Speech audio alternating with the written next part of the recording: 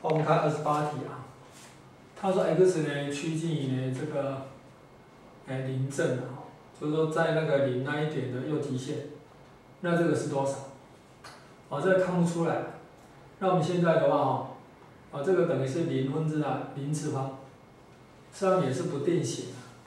哦，你这个可以把它看成什么呢？看成是说那个，哎，这个东西也是不定型的。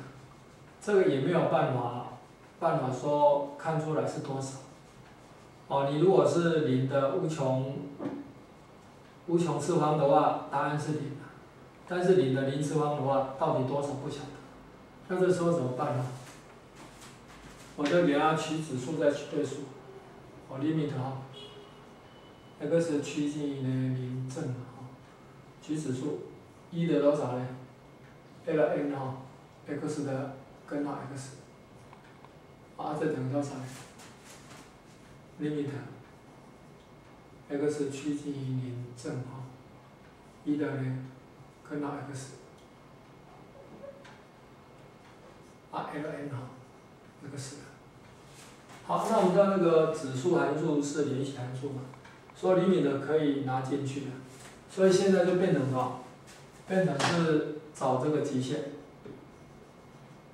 X 趋近于零正好，找这个极限的，根号 x，ln 的 x，好，这时候怎么办呢？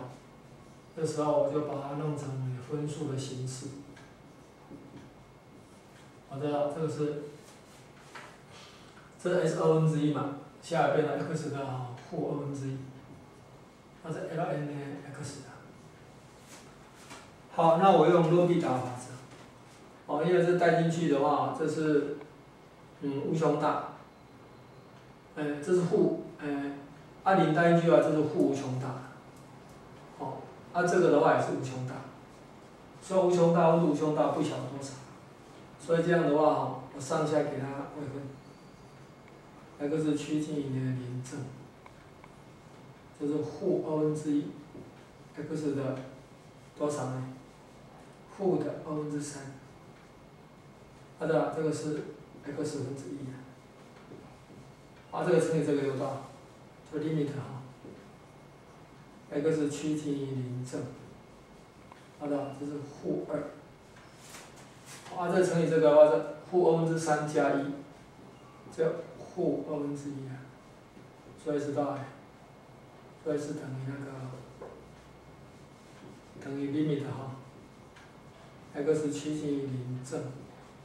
负二再乘以根号 x，那趋近于零哦，这个趋近于零，所以是等于零，所以这个等于多少？啊这一项是趋近于零的，趋近于零的时候哈，就是一的零次方，就等于一。